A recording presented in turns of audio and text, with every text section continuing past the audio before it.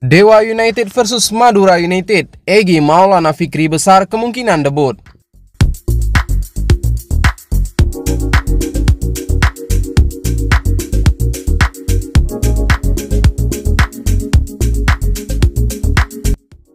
Egi Maulana Fikri kemungkinan debut bersama Dewa United saat melakoni laga pekan ke-22 kontra Madura United dalam BRI Liga 1 2022-2023 di Indomil Arena Tangerang, Kamis 2 Februari 2023 sore. Kans Egi tampil melawan Madura United disampaikan oleh pelatih Dewa United Jan Olde Reitring. Di samping itu, ia hadir dalam sesi konferensi pers sehari jelang laga di mana biasanya tampil sebagai starter. Saya senang Egi bergabung dengan tim ini. Saya ingin dia bermain besok. Tentu itu akan bagus untuk tim, kata Jan Olde. Jan mengatakan Egi adalah pemain luar biasa. Meski begitu, pemain yang sebelumnya berbaju Vion Zlate Moravsi tersebut masih butuh waktu untuk adaptasi.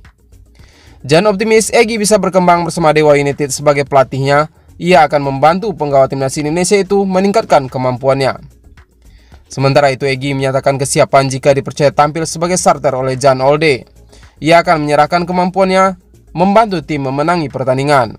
Saya sudah siap untuk laga besok dan memang kami sangat ingin memenangkan pertandingan karena bermain di kandang. Target kita menang, kerja keras dan menjalankan taktik yang diinginkan pelatih. Ujar Egi.